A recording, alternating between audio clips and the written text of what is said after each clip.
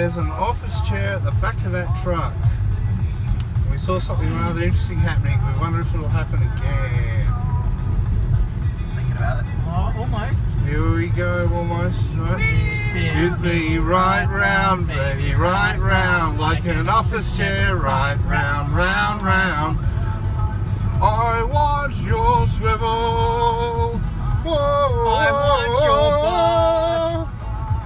An I want your butt. An office chair would want your butt. bye bye, office chair.